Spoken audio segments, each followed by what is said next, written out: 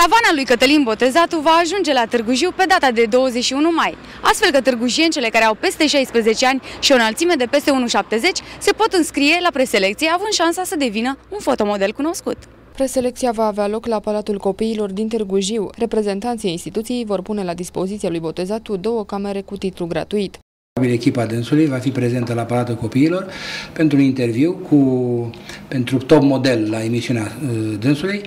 Uh, ne bucurăm că am fost solicitați de către echipa care va uh, organiza acest concurs pentru faptul că, așa cum spunea, nu prea a avut înțelegere în județul nostru. Selecția fetelor va avea loc în data de 21 mai, începând cu orele 18, când sunt așteptate aproximativ 30 de candidate. Preselecția va dura două ore.